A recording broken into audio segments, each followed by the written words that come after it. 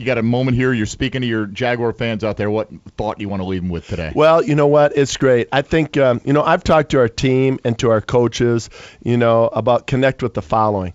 And I think you know that phrase is something I said. You know what? I, I went out to uh, a, a, a little restaurant real quick and ordered something to go.